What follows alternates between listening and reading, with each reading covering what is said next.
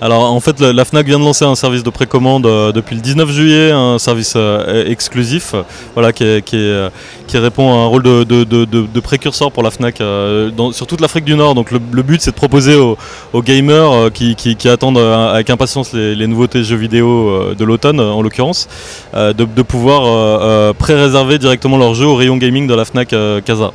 Alors le principe c'est vraiment de pouvoir euh, assurer un- un- une, disponibilité en magasin, voilà, de, de- qui- qu'il n'y ait pas de rupture de stock, et c'est de pouvoir être prévenu euh, dès le dès le dès l'arrivée du jeu en magasin, c'est-à-dire euh, dès la sortie mondiale, voire quelques jours quelques jours à peine après la sortie mondiale. Voilà, le but c'est vraiment de, notre objectif c'est de de pouvoir délivrer le jeu dès, dès, le, dès, sa livraison au magasin et de, pouvoir prévenir les gens. euh, voilà. Et pour les 1000 premières, euh, pour les 1000 premières précommandes, euh, on- une, manette, une manette PS3 ou Xbox 360 est offerte.